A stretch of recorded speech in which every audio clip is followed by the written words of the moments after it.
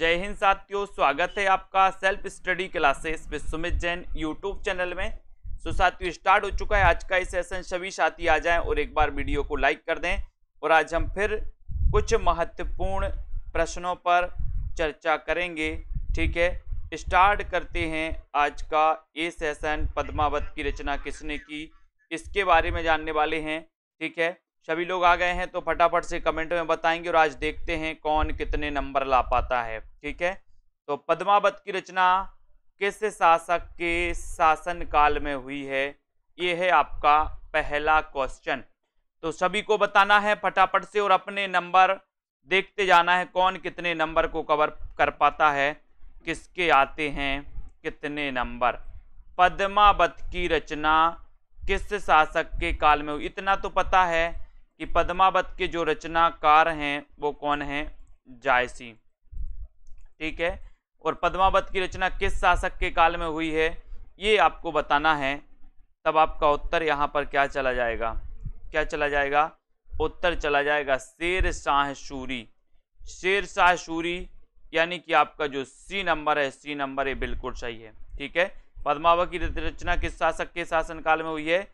शेर शाह शूरी के। ठीक है? वेरी गुड बहुत बढ़िया। एक नार ने अचरज किया। सांप मार पिंजरे में दिया। ये किसकी पंक्ति है? बताइए किसकी पंक्ति है? एक नार ने अचरज किया। सांप मार पिंजरे में दिया। किसकी पंक्ति है? अमीर खुसरो की, विद्यापति की, भारतेंदु की या फिर चंद वरदाई की? एक नार ने अचरज किया, सांप मार पिंजरे में दिया। और सभी लोगों को पता है कि सर, ये जो पंक्ति है पंक्ति है अमीर खुसरो की, ठीक है? ये आपका एक नंबर बिल्कुल सही हो जाएगा। एक खड़ी बोली के प्रथम कवि माने जाते हैं अमीर खुसरो, है ना? इनको याद रखेंगे। और दोस्तों, आदि काल की अंतिम अंतिम अवस्था के कवि माने जाते हैं, ठीक है? ये नंबर आपका सही है। कैमास बद प्रसंग, ये किस रचना में है? कैमास बद प्रसंग किस रचना में है? प्रश्न क्रमांक तीन का आपको चयन करना है। बताइए, भाभी शिक्षिका जी, कैमास बद प्रसंग किस रचना में है? जल्दी से बताइए। आप सभी लोग भी अपना नाम अगर हिंदी में लिखेंगे तो और मज़ा आएगा। मैंने कई बार बताया है कि अपनी अपनी आईडी सभी लोग हिंदी में बना लो। ठीक है? कैमास बद प्रसंग किस रचना में है? ये आपको बताना है। तीन नंबर। तीन नंबर आपको बताना है। और प्रश्न क्रमांक तीन का आपका राइट आंसर हो जाएगा कि सर, ये कैमास बद जो है, ये पृथ्वी राज रासो। पृथ्वी राज रासो यानी डी नंबर आपका बिल्कुल सही है। पृथ्वी राज रासो आपका बिल्कुल सही हो जाएगा। बहुत बढ़िया। वेरी गुड आंसर अगला क्वेश्चन देखो। आदिकाल को अपभ्रंश काल किसने कहा? आदिकाल को अपभ्रंश काल किसने कहा है? बहुत अच्छा क्वेश्चन है। आदिकाल को अपन ने देखा था वीर गाथा काल रामचंद्र शुक्ल ने, बीज वपन काल महावीर प्रसाद द्विवेदी ने, ठीक है? सिद्ध सामंत काल राहुल सांकृत्यायन ने। अब यहाँ पर अपभ्रंश काल, आपसे कहा गया अपभ्रंश काल किसने कहा है? ये प्रश्न क्रमांक चार का आंसर और चार में अपभ्रंश काल तो आपको यहाँ पर सही उत्तर हो जाएगा। क्या नंबर हो जाएगा? कि सर, अपभ्रंश काल धीरेन्द्र वर्मा और गुलेरी जी। गुलेरी जी ने भी इसे अपभ्रंश काल कहा है दोस्तों, ठीक है? तो याद रख लेना, आदि काल को अपभ्रंश काल गुलेरी जी ने भी कहा है और धीरेन्द्र वर्मा ने जी भी कहा है। अपन ने पढ़ा था ना, धीरे से गोली मारो, ठीक है? बहुत बढ़िया। अगला क्वेश्चन हिंदी भाषा में लिखा गया हिंदी साहित्य का पहला इतिहास कौन सा है? हिंदी भाषा में लिखा गया हिंदी साहित्य का पहला इतिहास कौन सा है? हिंदी साहित्य का आलोचनात्मक इतिहास, the modern vernacular literature of Hindustan, Mishra Bandhu Vinod, या फिर स्यो सिंह सरोज।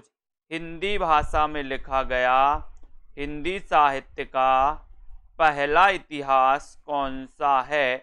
प्रश्न क्रमांक पाँच का उत्तर बताना है, और पाँच में आपने लगा दिया कि सर, यहाँ पर आपको उत्तर लगाना है। स्यो सिंह सरोज। इसके रचनाकार कौन हैं? तो सेव से हैं सेंगर हैं, ठीक है? आपको याद रख लेना और इसका रचना काल भी आपको कमेंट में लिखना है। बिल्कुल सही आंसर बता रहे हैं आप लोग। वेरी गुड बहुत बढ़िया। अगला क्वेश्चन महावीर प्रसाद द्विवेदी ने आदि काल को क्या संज्ञा दी?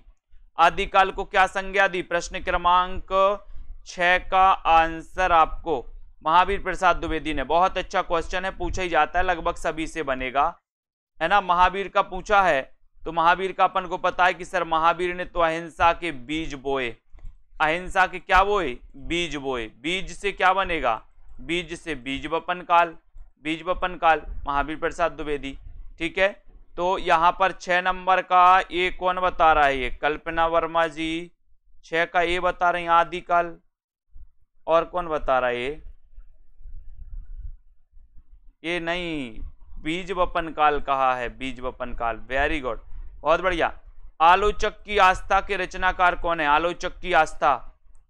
आलोचक की आस्था, ये किसकी रचना है? डॉक्टर नगेंद्र की, नामवर सिंह की, हजारी प्रसाद द्विवेदी, या फिर रामविलास शर्मा? आलोचक की आस्था के रचनाकार कौन है?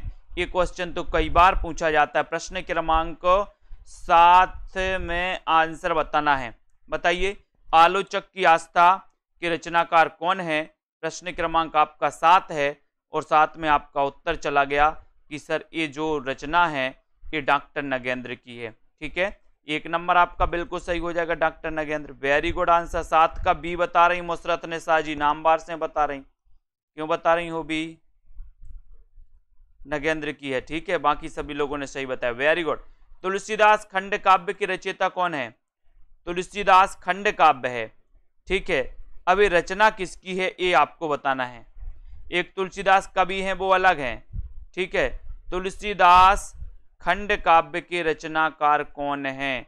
तुलसीदास खंड काव्य के रचनाकार निराला, तुलसी रामधारी से दिनकर या फिर मैथिली शरण गुप्त। और बहुत सारे लोग सही आंसर बता रहे हैं। कि सर ये तुलसीदास जो रचना है, तुलसीदास बड़े निराले कवि थे। कैसे कवि थे? निराले, ठीक है? तो निराले से हो जाएगा निराला, यानी ये नंबर आपका बिल्कुल सही है। एक number right answer. Very good Dinkar कौन बता रहा है? जो आकाश जी दिनकर बता रहे बहुत बढ़िया। तुलसीदास दिनकर की रचना है। आकाश आकाश जी। बहुत बढ़िया। यही सब देख रहे हैं हम सब लोगों का। तुलसीदास ये रचना मैंने कई बार बताया, तुलसीदास निराले कवि हैं। और ये निराले की रचना है खंड काव्य है, कई बार पूछा गया। अगला देखो, डॉक्टर राम कुमार वर्मा ने हिंदी साहित्य का आलोचनात्मक इतिहास में चित्रण किया है। बताइए कहाँ से कहाँ तक चित्रण किया है? राम कुमार वर्मा, आपसे एक क्वेश्चन आता है कि हिंदी साहित्य का आलोचनात्मक इतिहास, इसके रचनाकार कौन है? इसके रचनाकार कौन है? हिंदी साहित्य का आलोचनात्मक इतिहास। इसके रचनाकार कौन है? प्रश्न क्रमांक नौ में आपका उत्तर चयन करना है। और नौ का आंसर हो जाएगा कि हिंदी साहित्य का आलोचनात्मक इतिहास रामकुमार वर्मा का एक ग्रंथ है। लेकिन आपसे बताना है कि ये छः सौ तिरानवे ईस्वी से सोलह सौ तिरानवे ईस्वी तक यानी आपका उत्तर सी नंबर, ठीक है? सी नंबर आपका बिल्कुल सही है, बहुत बढ़िया आंसर सी नंबर, है ना? वेरी गुड छः सौ तिरानवे से सोलह सौ तिरानवे तक के काल को इसमें दोस्तों इतिहास में चित्रण किया गया और ये हिंदी साहित्य का आलोचनात्मक इतिहास का रचना काल क्या है? तो रचना काल है 1938 ठीक है? इसमें भक्ति काल तक ही वर्णन मिलता है, भक्ति काल तक, यानी कि ये ग्रंथ जो है अधूरा ग्रंथ है, ठीक है? कवियों के परिचयात्मक विवरण मैंने प्राय मिश्र बंधु विनोद से ही, विनोद से ही लिए हैं। ये कथन किसका है? ये कथन किसका है? बताइए। कवियों के परिचयात्मक विवरण मैंने प्राय मिश्र बंधु विनोद से लिए हैं। ये कथन किसका है? प्रश्न क्रमांक दस में आपसे पूछा गया है और दस का राइट आंसर क्या हो जाएगा? एक क्वेश्चन पूछा गया था दोस्तों कि हिंदी साहित्य का एक ऐसा ग्रंथ जिसे आधार स्तंभ, आज भी वो आधार स्तंभ की तरह है है ना? तो वो ग्रंथ कौन सा है? वो ग्रंथ है मिश्र बंधु विनोद। इसमें कितने कवियों का उल्लेख है? लगभग पाँच हज़ार कवियों की। और यहाँ पर रामचंद्र शुक्ल भी आकर के कह रहे हैं कि जो कवियों के परिचयात्मक विवरण हैं, वो मैंने मिश्र बंधु विनोद से ही लिए हैं। ठीक है? तो यहाँ पर रामचंद्र शुक्ल का अपन को याद कर लेना। इन्होंने ये कथन कहा है किसके बारे में मिश्र बंधु विनोद के बारे में। तो डी नंबर आपका बिल्कुल सही। पहाड़ी हिंदी उपभाषा का विकास हुआ है। प्रश्न क्रमांक 11 में। ये क्वेश्चन भी आपका आया था दोस्तों। पहाड़ी हिंदी उपभाषा का विकास हुआ है। खस से मागदी से, सौर सैनी से या फिर ब्राचड़ से। किससे हुआ है पहाड़ी हिंदी उपभाषा का विकास? 11 नंबर में आपको चयन करना है। 11 नंबर का आपका जो सही आंसर हो जाएगा कि सर पहाड़ी हिंदी पहाड़ी हिंदी एक खास है। पहाड़ी हिंदी कैसी है? खास है, खास। पहाड़ी हिंदी तो खास है। खास है तो खस से इसका विकास होता है, खस से। ठीक है? ये नंबर आपका बिल्कुल सही है। मोहित जी, सी क्यों बता रहे भैया? पहाड़ी हिंदी का एक खस माना जाता है, खस से हुआ है। खस लगाना है अपन को। ढूंढाड़ी किसे कहते हैं? ढूंढाड़ी, जयपुरी को, जयपुरी बोली को, मालवी, मेवाती या फिर बघेली को। किससे कहते ढूंढाड़ी? बहुत अच्छा क्वेश्चन है।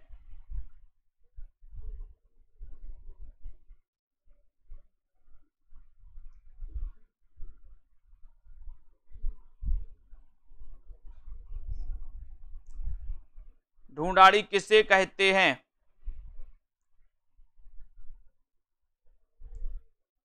और आपका उत्तर हो जाएगा जयपुरी। ढूंढाड़ी किसे कहते हैं? जयपुरी को।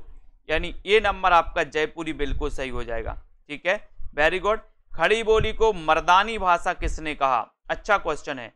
खड़ी बोली को मर्दानी भाषा किसने कहा है? भारतेंदु जी ने, ग्रियर्सन ने हॉर्नले या फिर सुनीति कुमार चटर्जी ने। खड़ी बोली को मर्दानी भाषा किसने कहा है? ये क्वेश्चन प्रश्न क्रमांक तेरह में पूछा गया और तेरह में तो आपका सही आंसर हो जाएगा कि सर खड़ी बोली की बात करते हो तो सुनीति कुमार चटर्जी। सुनीति कुमार चटर्जी, यानी आपका उत्तर डी नंबर जो है, बिल्कुल सही है। D number very good answer बहुत बढ़िया। देवनागरी का मानकीकरण कब और किसने किया? देवनागरी का मानकीकरण, देवनागरी। हिंदी की लिपि क्या है? देवनागरी लिपि है।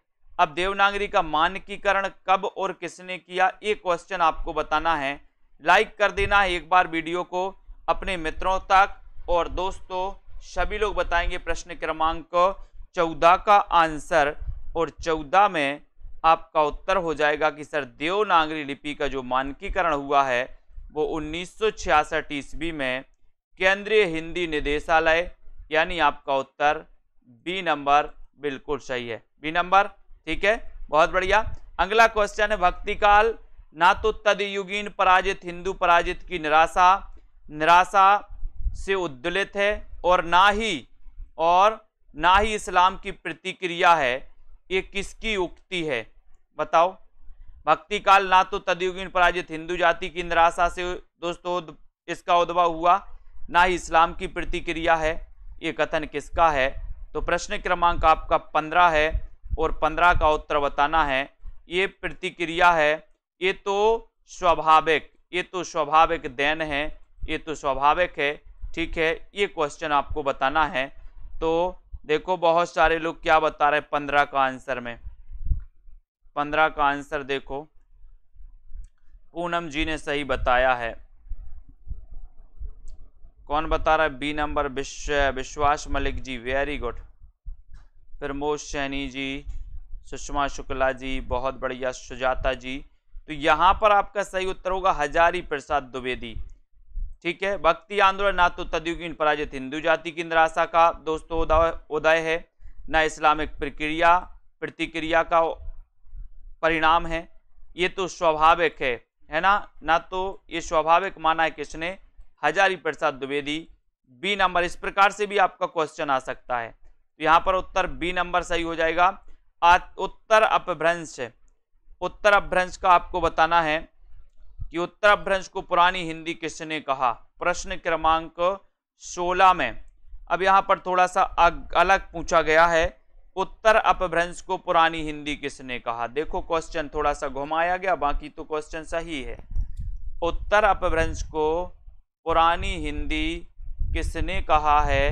ये क्वेश्चन है आचार्य चतुर्सेन शास्त्री ने, ग्रियर्सन ने, चंद्रधर शर्मा गुलेरी ने, या फिर इनमें से कोई नहीं? तब आपका सीधा आंसर यहाँ पर जा रहा है कि सर उत्तर अपभ्रंश को पुरानी हिंदी तो कहा है किसने? गुलेरी जी ने। सी नंबर सही हो जाएगा। वेरी गुड है ना? और साहित्यक अपभ्रंश को किसने कहा है? साहित्य अपभ्रंश को पुरानी हिंदी कहा है रामचंद्र शुक्ल ने, साहित्य अपभ्रंश को। ठीक है? बहुत बढ़िया। अब यहाँ पर देखो, चौरासी वैष्णव की वार्ता के लेखक कौन है? सरल क्वेश्चन आसान क्वेश्चन आपसे पूछा गया है। किसी का भी गलत नहीं होनी चाहिए। चौरासी वैष्णव की वार्ता, इसके रचनाकार कौन है? बताइए। सत्रह में ऐसे क्वेश्चन सरल सरल क्वेश्चन अपन को गलत नहीं करना।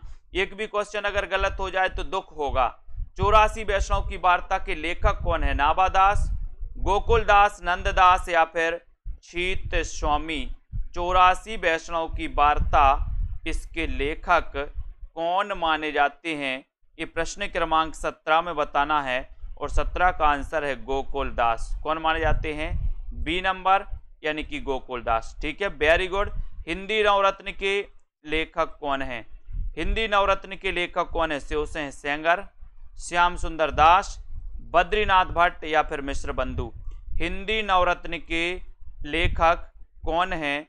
ये प्रश्न क्रमांक 18 है और 18 में आपको उत्तर बताना है। हिंदी नवरत्न के लेखक चयन करना है। राइट आंसर चला जाता है आपका कि सर हिंदी नवरत्न, जो कि दोस्तों 1910 की रचना है, सन भी याद होनी चाहिए आपका। 10 नवरत्न। ठीक है, नौ है एक और प्लस कर देना यहाँ पर, सो दस हो जाएगा। तो 10 यानी 1910 और ये मिश्र बंधु की रचना है, यानी कि आपका डी नंबर बिल्कुल सही है, ठीक है? वेरी गुड शिव सेंगर और ग्रियर्सन के साहित्य इतिहास ग्रंथों के लिए आचार्य आचार्य रामचंद्र शुक्ल ने, आचार्य रामचंद्र शुक्ल ने किस शब्द का प्रयोग किया है? शिव सिंह सेंगर और ग्रियर्सन के साहित्य इतिहास ग्रंथों के लिए आचार्य शुक्ल ने किस शब्द का प्रयोग किया? वृत्त संग्रह सब वृत्त संग्रह, वृत्त संदर्भ संग्रह, वृत्त संग्रह, संदर्भ संग्रह, या फिर साहित्य संदर्भ, वृत्त, यानी कि 19 का आंसर आपको चयन करना है। 19 में आपको उत्तर बताना है और आपका 19 में बता दिया है। बहुत बढ़िया। 19 का बी, वृत्त संग्रह, ठीक है? बी नंबर है अंकित गुप्ता जी 19 का। ये वृत्त संदर्भ संग्रह नहीं, ये वृत्त संग्रह है। विकल्प पढ़ो, बाकी के विकल्प भी अपन को पढ़ना है। ठीक है? बी नंबर आपका सही है। पृथ्वीराज रासो को कितने सर्व किसने सर्वप्रथम विवादास्पद घोषित किया? बहुत बढ़िया क्वेश्चन है। पृथ्वीराज रासो को किसने सर्वप्रथम विवादास्पद घोषित किया है? मैक्स मुलर ने, मोतीलाल मिनारिया डॉक्टर बुलर या फिर कर्नल टाड ने। पृथ्वीराज रासो को किसने सबसे पहले विवादास्पद घोषित किया था? प्रश्न क्रमांक 20 का आंसर। और 20 में आपका सही आंसर चला गया। और विवादास्पद सबसे पहले घोषित किया था किसने? बहुत बढ़िया। वेरी गुड आंसर सभी लोगों का आंसर लगभग सही आ रहा कि सबसे पहले डॉक्टर बुलर ने इसको विवादास्पद घोषित किया? सी नंबर आपका सही हो जाएगा, ठीक है। पृथ्वीराज रासो को हिंदी का पहला महाकाव्य किसने माना? और इसमें अध्यायों का नाम क्या है? अध्यायों का नाम भी बताना है। तो बताओ, पृथ्वीराज रासो को हिंदी का पहला महाकाव्य किसने माना? और इसमें अध्यायों का नाम क्या है? बताएँ। प्रश्न क्रमांक ट्वेंटी वन का आंसर। आचार्य शुक्ल ने समय आचार्य द्विवेदी, संकल्प, गौरीचंद, हीराचंद, ओझा, सर्ग, इनमें से कोई नहीं। देखते हैं कौन कौन यहाँ अटकता है।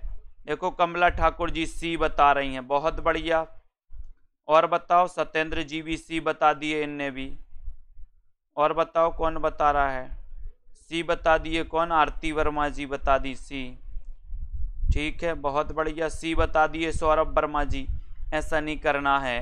पृथ्वीराज रासो, जो कि हिंदी का पहला महाकाव्य है, इसको दोस्तों प्रथम महाकाव्य आचार्य शुक्ल ने माना। और इसमें जो सर्ग हैं या जो अध्याय हैं, उन्हें समय कहा जाता है। तो आपका उत्तर ए नंबर बिल्कुल सही हो जाएगा यहाँ पर। ए नंबर सही हो जाएगा। चरम व्यक्तिवाद ही प्रयोगवाद का केंद्र बिंदु है। ये कथन किसका है? मैं यही चाहता हूँ दोस्तों कि जितने भी क्वेश्चन आए, जितने भी अपन क्वेश्चन पढ़ रहे हैं, उनमें से एक दो क्वेश्चन आपके मुश्किल से अगर गलत हो जाएँ, तब आपकी तैयारी सही है। और अगर आप बहुत सारे क्वेश्चन गलत कर रहे हैं, आठ दस क्वेश्चन गलत कर रहे हैं तो आपकी तैयारी में कमी है। ठीक है? चरम व्यक्तिवाद ही प्रयोगवाद का केंद्र बिंदु है। ये कथन किसका है? प्रश्न क्रमांक 22 का आंसर अपन को चयन करना है। 22 में सभी लोग बताएँगे राइट आंसर क्या हो जाएगा? 22 में।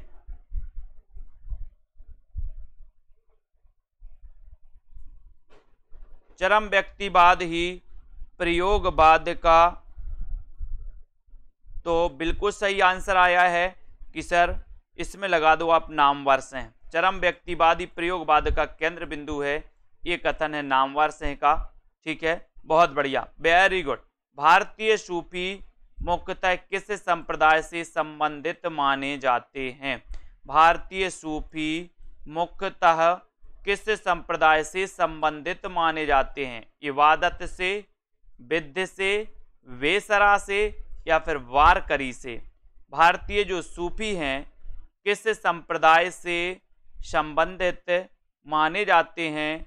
23 का आंसर बताना है और 23 में आपका सही आंसर जा रहा है कि सर जो भारतीय सूफी हैं, ये मुख्यतः है वेसरा संप्रदाय। यानी सी नंबर आपका वेसरा संप्रदाय बिल्कुल सही हो जाएगा। सी नंबर आपका राइट आंसर हो जाएगा। प्रभु जी, तुम चंदन हम पानी, ये किसकी काव्य पंक्ति है? ये किसकी काव्य पंक्ति है? सूरदास की, तुलसीदास की, रैदास की या फिर गुरु नानक की? प्रभु जी, तुम चंदन हम पानी अब इतने ये चार गुरु दिख रहे हैं आपको। चारों के जन्म भी आपको बताना है। सूरदास का जन्म कब हुआ? तुलसीदास का कब हुआ? रैदास का कब हुआ? गुरु नानक का कब हुआ? मैंने रटवाए हैं इनको। बताओ प्रभु जी, तुम चारों के एक लाइन में बताइए ऐसे करके। पूरी एक लाइन में कमेंट में लिखना है। अलग अलग नहीं। प्रभु जी, तुम चंदन हम पानी, ये किसकी काव्य पंक्ति है? ये रैदास की है। रैदास आपको पता है कि रैदास नामदेव के बाद संत काव्य में दूसरा नंबर रैदास का आता है। ठीक है? अब बताओ इनके पूरे जन्म में बताना है फटाक से। मृगावती को सूपी काव्य की प्रथम रचना किसने माना? मृगावती को शूपी काव्य की प्रथम रचना किसने माना है? गिरियर्सन ने, द्विवेदी, आचार्य द्विवेदी ने, आचार्य शुक्ल ने, आचार्य राम कुमार वर्मा ने। मृगावती को शूपी काव्य की प्रथम रचना किसने माना? ये क्वेश्चन आपसे पूछा गया। बहुत ही अच्छा क्वेश्चन है और सीधा आंसर जा रहा है कि सर मृगावती के जो रचनाकार हैं, पहली बात तो ये है कि कुतुबन इसके रचनाकार हैं, ठीक है? और आचार्य रामचंद्र शुक्ल ने इस मृगावती को सूपी काव्य की प्रथम रचना माना, यानी आपका उत्तर सी नंबर बिल्कुल सही है, ठीक है? सी जिन्होंने लगाया, राइट आंसर, वेरी गुड। चंदा इनको दूसरे किस नाम से भी स्वीकार किया जाता है? चंदाइन का अन्य नाम क्या है? ये पूछा गया आपसे। चंदाइन के रचनाकार भी आपको बताना है। चंदाइन के रचनाकार कौन है और चंदाइन का अन्य नाम क्या है, ये भी आपको लिखना है। बताइए।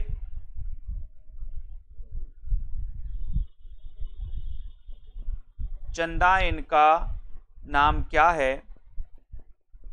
और आपका सीधा आंसर जा रहा है कि सर इसका जो अन्य नाम है वो अन्य नाम है लोर कथा या लोर कहा। डी नंबर सही है। चंदाइन के रचनाकार कौन है बताइए? चंदाइन के रचनाकार चंद हसीनों के खतूत, ये किसकी रचना है? चंद हसीनों के खतूत, बहुत बढ़िया, मुल्ला दाऊद की वेरी गुड चंद हसीनों के खतूत, ये किसकी रचना है? चार विकल्प हैं। चंद हसीनों के खतूत बताना है कुरैसी जी बताइए। चंद हसीनों के खतूत, ये रचना किसकी है? प्रश्न क्रमांक ट्वेंटी सेवन की और ट्वेंटी सेवन में चंद हसीनों के खतूत ये जो रचना है, ये रचना है, ये नंबर यानी कि पांडे बेचन शर्मा उग्र की। किसकी है? पांडे बेचन शर्मा उग्र की रचना है। एक नंबर आपका बिल्कुल सही हो जाएगा, ठीक है? वेरी गुड कौन सा उपन्यास ऐतिहासिक नहीं है? कौन सा उपन्यास ऐतिहासिक नहीं है? पुनर्नवा। मृग नयनी सन्यासी या फिर सह सेनापति कौन सा उपन्यास ऐतिहासिक नहीं है? ट्वेंटी एट का आंसर। और बहुत ही बढ़िया प्रश्न आपसे पूछा गया है और आपका उत्तर है कि वो उपन्यास है सन्यासी। सन्यासी उपन्यास ऐतिहासिक नहीं है। ठीक है, पुनर्नवा है, मृगनयनी है शह सेनापति भी है, ठीक है? अब इनके पूरे रचनाकार भी आपको बताना है। पुनर्नवा हजारी प्रसाद का है, मृगनयनी वृंदावन लाल वर्मा का है। सन्यासी का रचनाकार आपको बताना है शिव से शिव सेनापति राहुल सांकृत्यायन ठीक है? अब सन्यासी ये किसका? दोस्तों, उपन्यास है, जल्दी से बताओ। सन्यासी उपन्यास किसका है? उसके बाद खंजन नयन किस प्रकार का उपन्यास है? खंजन नयन, ये किस प्रकार का उपन्यास है? पत्रात्मक, जीवनी परक आत्म कथात्मक या फिर इनमें से कोई नहीं? बहुत अच्छा क्वेश्चन है और खंजन नयन आपसे पूछा गया। प्रश्न क्रमांक 29 में और 29 का सीधा आंसर जा रहा है कि सर, ये जो खंजन नयन है, ये जीवनी परक है? बी नंबर बहुत बढ़िया। सन्यासी ईला चंद्र जोशी जी का उपन्यास उपन्यास पूछा है। तो ये जीवनी परक आपका बी नंबर सही है। अंधा युग के रचनाकार कौन है? अंधा युग के रचनाकार कौन है? अंधा युग के रचनाकार कौन है? बहुत ही बढ़िया है। अपन ने कई बार पढ़ा है कि सर, अंधा है युग, काय के बिना? काय के बिना? धर्म के बिना। तो धर्म वीर भारती जी का ये रचना है दोस्तों, अंधा युग। वेरी गुड ये बिल्कुल सही है। ये दोस्तों आपका ये खंजन नयन सूरदास के जीवन पर आधारित है। ठीक है? आचार्य रामचंद्र शुक्ल का सैद्धांतिक आलोचना संबंधी ग्रंथ कौन सा है? सैद्धांतिक आलोचना संबंधी ग्रंथ कौन सा है? चिंतामणि, रश्मि मानसा, त्रिवेणी या फिर जायसी ग्रंथावली। आचार्य रामचंद्र शुक्ल का सैद्धांतिक आलोचना संबंधी ग्रंथ कौन सा है? प्रश्न क्रमांक थर्टी वन में और थर्टी वन में आपका आंसर जा रहा है। क्या जा रहा है? रश्मि मानसा। ये सैद्धांतिक आलोचना संबंधी ग्रंथ है दोस्तों। सी, बी नंबर बिल्कुल सही है। हिंदी रेखा चित्र का जनक किससे माना जाता है? यहाँ पर क्वेश्चन आपसे पूछा गया। थर्टी टू का आंसर बताएँ, हिंदी रेखा चित्र का जनक किसे माना जाता है? ये आपका प्रश्न है और आपका सीधा आंसर जा रहा है, हिंदी रेखा चित्र का जनक किसे माना जाता है? तो आपको पता है दोस्तों, ये पदम सिंह शर्मा को, ठीक है? इन्होंने एक पदम पराग लिखा था, पदम पराग ये रेखा चित्र संग्रह है दोस्तों, लेकिन याद रख लेना, रेखा चित्र संग्रह कभी आपसे पूछा जाए कि हिंदी का प्रथम रेखा चित्र संग्रह कौन सा है तो आपको पदम पराग बताना है, पदम पराग, ठीक है? ये याद रख लेना, और पदम पराग पदम सिंह शर्मा का है, ठीक है? वेरी गुड हिंदी में रिपोर्टाज के प्रथम हस्ताक्षर कौन है? हिंदी में रिपोर्टाज के प्रथम हस्ताक्षर कौन है? ये आपको चयन करना है थर्टी थ्री का आंसर अमृतलाल नागर विष्णु प्रभाकर, शिवदान सिंह चौहान, कन्हैया लाल मिश्र प्रभाकर। तो बताओ, हिंदी में रिपोर्टाज के प्रथम हस्ताक्षर कौन है? प्रश्न क्रमांक थर्टी थ्री में, और सभी लोगों को पता है कि सर हिंदी का प्रथम जो रिपोर्टाज है वो लक्ष्मीपुरा है। लक्ष्मीपुरा, ठीक है? और लक्ष्मीपुरा शिवदान सिंह चौहान, यानी सी नंबर आपका बिल्कुल सही। वेरी गुड जो व्यक्ति वस्तु या परिस्थितियाँ स्थायी भाव को जागृत करती हैं, बहुत बढ़िया क्वेश्चन है। उन्हें क्या कहते हैं? उन्हें क्या कहते हैं? जो व्यक्ति जो व्यक्ति वस्तु या परिस्थितियाँ स्थायी भाव को जागृत करती हैं, उन्हें क्या कहते हैं? संचारी भाव, उत्प्रेरक, अनुभाव या फिर विभाव? क्या है? प्रश्न क्रमांक थर्टी फोर में अच्छा क्वेश्चन है। क्वेश्चन हमेशा आता है दोस्तों थर्टी फोर का और थर्टी फोर का आपको बताना है। बहुत ही बढ़िया क्वेश्चन है। क्या कहते हैं उसे? चौतीस में। देखो, बहुत सारे लोग गलत करेंगे इस क्वेश्चन को। देखते हैं कौन कौन गलत कर रहा रेखा त्रिपाठी जी ने पहले ही गलत कर दिया। भाभी शिक्षिका जी भी गलत कर रहे हैं। सरोज जी ने भी गलत कर दिया। और किसने बताया है? मुकनत जी ने सही बताया। वेरी गुड मोहित जी ने भी सही बताया। अंकित गुप्ता जी वेरी गुड बहुत बढ़िया। कुमुद जी, पूजा जी, बहुत सारे लोग लगभग 80 परसेंट लोगों ने गलत बताया आंसर। जो व्यक्ति वस्तु या परिस्थितियाँ स्थायी भाव को जागृत करती हैं, उन्हें कहते हैं, दोस्तों, विभाव। क्या कहते हैं? विभाव यानी आपका उत्तर डी नंबर सही है। क्या है? D number. ठीक है? डी नंबर आपका सही है। जो व्यक्ति वस्तु या परिस्थितियाँ उनके बारे में पूछा गया कि उन्हें क्या कहा जाता है तो वो विभाव कहलाते संचारी भावों की संख्या कितनी है? संचारी भावों की संख्या कितनी है? आठ, तैतीस, पैंतीस या फिर नौ? संचारी भावों की संख्या कितनी है? संचारी भाव याद हो गए? किस किस को याद हो गए? पूरे संचारी भाव। संचारी भाव किस किस को याद हैं?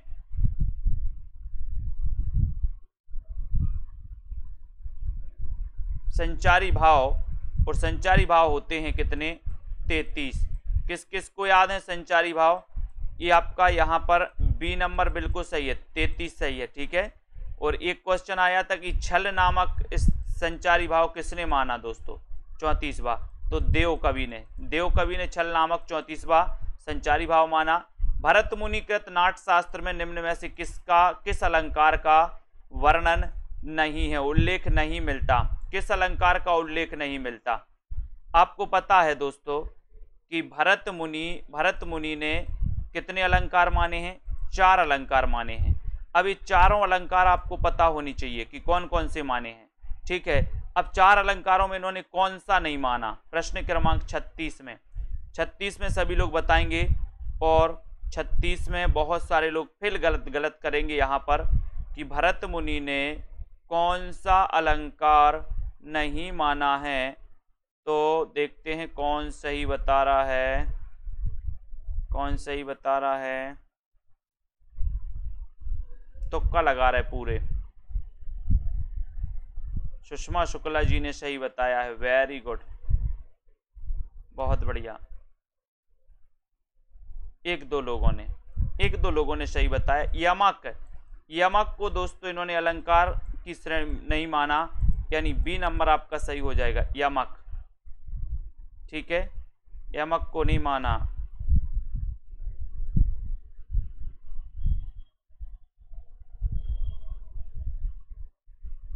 ठीक है?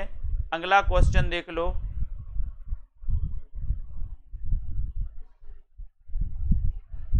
यहाँ पर आ जाओ। जहाँ एक शब्द अनेक बार आए, उसके अर्थ भिन्न भिन्न हों।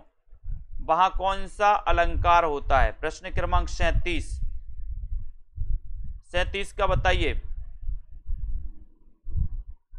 सही है क्या? सैतीस का आंसर आपको चयन करना है। जल्दी बताएँ फटाक से।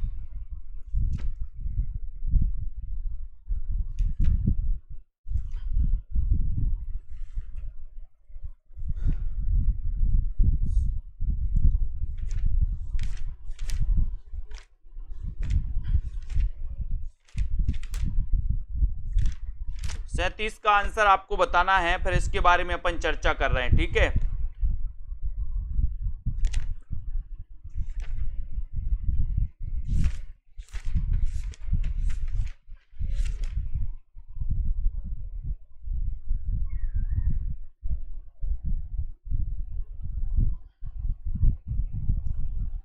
यहाँ पर आपको जहाँ जहाँ एक शब्द अनेक बार आए और उसके अर्थ अर्थ भिन्न हो तो वहाँ पर आपका सैंतीस का उत्तर क्या हो जाएगा? सैंतीस, यानी कि थर्टी सेवन का आंसर। और थर्टी सेवन में यहाँ पर यमक अलंकार हो जाएगा, ठीक है? डी नंबर आपका सही है। वेरी गुड इसके बारे में अपन चर्चा कर रहे हैं अभी, छत्तीस नंबर का, है ना? ठीक है? ओके। हिंदी में रीति सिद्धांत के प्रथम प्रस्तोता कौन है? हिंदी में रीति सिद्धांत के प्रथम प्रस्तोता कौन है? जल्दी से बताओ।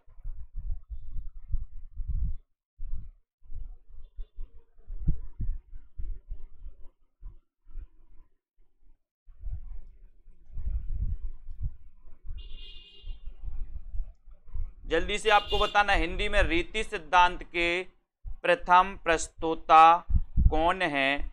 तो आपको याद रख लेना है। ठीक है? इसको दोस्तों यहाँ पर सही कर लो। यहाँ पर आपका श्लेष अलंकार सही होगा, ठीक है? भरत मुनिकृत नाट शास्त्र में निम्न में से किस अलंकार का उल्लेख नहीं किया? इसमें यमक है, उपमा है, दीपक भी है और रूपक भी है, ठीक है? ये चार हैं। इसलिए आपका यहाँ पर सही हो जाएगा। ए नंबर आपका यहाँ पर सही, इसको सही कर लो, ठीक है? उसके बाद अपन ने यमक पढ़ लिया, हिंदी में रीति सिद्धांत के प्रथम प्रस्तुता आचार कौन है? थर्टी, हिंदी का पूछा गया। तो हिंदी में रीति सिद्धांत के प्रथम प्रस्तुता आचार कौन है? तो उत्तर है केशव दास। कौन है? केशव दास। तो आपका ए नंबर बिल्कुल सही है। साधारणीकरण का सिद्धांत किसकी देन है? साधारणीकरण का सिद्धांत ये किसकी देन है? आपको बताना है भट्ट नायक की भट्ट नायक की या फिर भट्ट लोलट या फिर शंकुक की? बताएँ जल्दी से। फटाफट से चयन करना है आपको। साधारणीकरण का जो सिद्धांत है, ये किसकी देन है? साधारणीकरण यानी कि थर्टी नाइन का उत्तर आपको चयन करना है। बताइए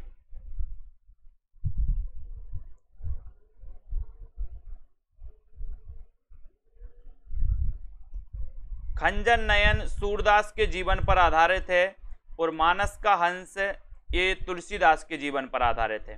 ठीक है? साधारणीकरण का सिद्धांत यानी कि थर्टी नाइन का आंसर और थर्टी नाइन में आपका उत्तर हो जाएगा कि सर भट्ट नायक किसने? भट्ट नायक ये नंबर सही है।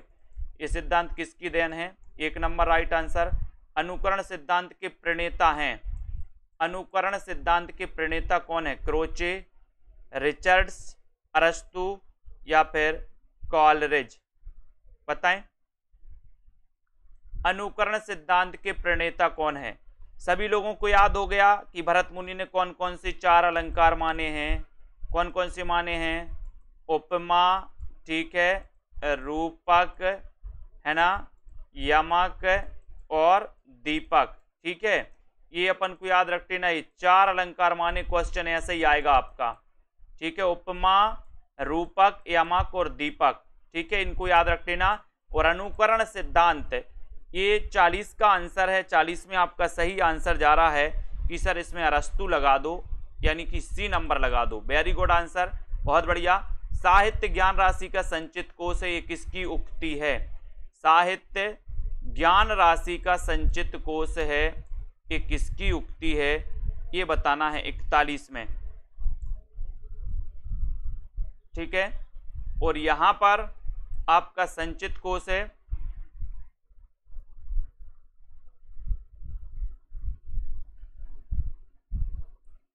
और यहाँ पर आपका इकतालीस में आंसर हो जाएगा दोस्तों। ये महावीर प्रसाद द्विवेदी का कथन है। बी नंबर आपका बिल्कुल सही है। बी नंबर वेरी गुड रस सूत्र के व्याख्याकारों का सही अनुक्रम क्या है? बयालीस में बताइए। बयालीस में आपको चयन करना है और रस सूत्र के जो दोस्तों, रस सूत्र जो दिया है, वो किसने दिया? भरत मुनि ने। और इनके व्याख्याकारों का क्रम बताना है। तो क्रम में आपका सबसे पहले कौन हो जाएँगे दोस्तों? बताइए। अब ये तो कट गए, ये तो आपने काट दिया, बच्चे दो। अब बच्चे दो में कौन आएँगे सबसे पहले, बताओ। क्या हो जाएगा सही आंसर? रस सूत्र के व्याख्याकारों में।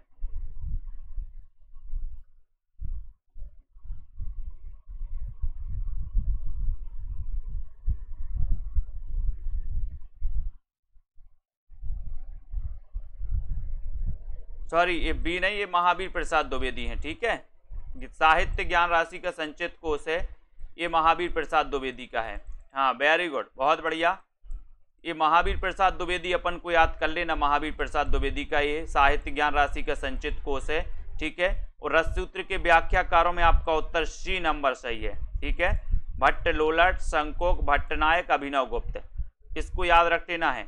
संकोक ठीक है? भट्टनायक और अभिनव गुप्त, ये आते हैं। इसको एक बार सही कर लो। महावीर, साहित्य ज्ञान राशि का संचित कोष है। ये महावीर प्रसाद द्विवेदी, यानी सी नंबर सही है। अनुवाद करते समय जिस भाषा में अनुवाद प्रस्तुत किया जाता है, जिस भाषा में उसे क्या कहते दोस्तों? अनुवाद के बारे में भी कहा गया कि अनुवाद करते समय जिस भाषा में अनुवाद प्रस्तुत किया जाता है उससे क्या कहते हैं? तैतालीस का आंसर बताना है। स्रोत भाषा या फिर अन्य दूसरी या लक्ष्य भाषा। तो अनुवाद करते समय जिस भाषा में अनुवाद किया जाता है, उसे कहा जाता है लक्ष्य भाषा, ठीक है? डी नंबर आपका लक्ष्य भाषा राइट आंसर हो जाएगा। डी नंबर सही हो जाएगा वेरी गुड रस कलश का रचनाकार कौन है? रस कलश का रचनाकार कौन है? चवालीस में आपको चयन करना है। रस कलश, आपको पता है ये रीति ग्रंथ माना जाता है दोस्तों हरियोद का, रस कलश है ना? और ये किसका ग्रंथ है? हरियोद, यानी ये नंबर आपका बिल्कुल सही है, ठीक है? आवारा मसीहा में किसके जीवन का उल्लेख है? आवारा मसीहा में किसके जीवन का उल्लेख है? आपको बताना है। और किस किस को अभी जूनियर सुपर टेट का मॉडल पेपर लेना है? सभी साथी जूनियर सुपर टेट का मॉडल पेपर ले लें। आवारा मसीहा किसके जीवन का उल्लेख है इसमें? और यहाँ पर आपका उत्तर हो जाएगा शरत चंद्र। ठीक है, इसके रचनाकार कौन है? तो विष्णु प्रभाकर। है ना? विष्णु प्रभाकर, ये आपका ए नंबर बिल्कुल सही है, ठीक है? आधुनिक भारतीय आर भाषाओं का विकास किससे हुआ है? आधुनिक भारतीय आर भाषाओं का विकास किससे हुआ है? रोमन से द्रविण से, अपभ्रंश से या फिर इनमें से कोई नहीं? छियालीस का आंसर। आधुनिक भारतीय आर भाषाओं का विकास किससे हुआ है? छियालीस में आपको चयन करना है। छियालीस का राइट आंसर क्या हो जाएगा? आधुनिक भारतीय आर भाषाओं का। किससे हुआ है? और आपका उत्तर है अपभ्रंश से। अपभ्रंश से यानी सी नंबर, ठीक है? आधुनिक भारतीय आर भाषाओं का विकास हुआ अपभ्रंश से। सी नंबर आपका बिल्कुल सही है। ऊस में संघर्षी वर्ण कौन से हैं? ऊस में संघर्षी वर्ण आपको बताना है। कौन से हैं? ऊस में संघर्षी। ये क्वेश्चन भी बड़ा आता है दोस्तों आपका। सैतालीस में, और सैतालीस का आपका राइट आंसर यहाँ पर हो जाएगा कि सर सा सा सा, हा, यानी ये नंबर ठीक है? इसको याद रखोगे। उसके बाद भाषा मुंशी के नाम से विख्यात हैं तो कौन विख्यात हैं? प्रश्न क्रमांक 48 में 48 में आपका राइट आंसर यहाँ पर क्या हो जाएगा? भाषा मुंशी के नाम से विख्यात हैं। कौन विख्यात हैं भाषा मुंशी के नाम से? जिनकी रचना कौन सी है? प्रेम सागर। कौन सी है? प्रेम सागर। ठीक है प्रेम सागर की रचनाकार कौन है? लल्लू लाल यानी कि आपका ए नंबर है। भाषा मुंशी के नाम से विख्यात हैं। विभाषा कहते हैं दोस्तों, विक्षिप्त भाषा को, विशिष्ट भाषा को, बोली को, या फिर इनमें से कोई नहीं। विभाषा कहते हैं तो विभाषा किसे कहते हैं? विभाषा। प्रश्न क्रमांक उनचास का आंसर आपको चयन करना है। विभाषा किससे कहते हैं? और सीधा आंसर जा रहा है कि सर विभाषा कहते हैं बोली को। बोली को यानी सी नंबर, ठीक है? C number very good Kamaldeep ji. अब आपको बताना है कौन सा लक्षण अवधि का नहीं है। अवधि का कौन सा नहीं? या के स्थान पर जा का प्रयोग, वा के स्थान पर बा का प्रयोग, ला के स्थान पर रा का प्रयोग, या फिर ना के स्थान पर ड़ा का प्रयोग। कौन सा लक्षण अवधि का नहीं है? जल्दी से बताना है। और जो भी हमारे साथी मास्टर कैडर के मॉडल पेपर लेना चाहते हैं तो अभी मास्टर कैडर के मॉडल पेपर में भी छूट है। और जो भी जूनियर टेट के मॉडल पेपर लाना चाहते हैं, उनके लिए तो छूट है ही। ठीक है? पचास का आंसर बताना है। और पचास का आपका हो जाएगा कि सर ना के स्थान पर ड़ा का प्रयोग ये नहीं है, ये लक्षण अवधि का नहीं है, यानी डी का आपका बिल्कुल सही हो जाएगा, ठीक है? अब दोस्तों अपन अगली क्लास में पढ़ेंगे इसके बाद के क्वेश्चन, ठीक है? बहुत बढ़िया, सभी लोगों के लिए धन्यवाद। जो भी जूनियर सुपर टेट के साथी हैं हमारे, और जिनके एक दो प्रश्न गलत हुए हैं, उनके लिए बहुत बहुत धन्यवाद। जिनके पाँच दस प्रश्न गलत हुए हैं, वो थोड़ा सा और प्रैक्टिस करें थोड़ी सी दिन रात प्रैक्टिस करो अच्छा जितना टाइम मिलता है है ना? क्योंकि एक दो प्रश्न तो आपके समाहित हो जाएँगे। पाँच, दस क्वेश्चन आपके लिए गर्त में ले जाएँगे। ठीक है? तो सभी लोग प्रैक्टिस करते रहें। और आज के इस वीडियो के लिए दोस्तों, इतना ही।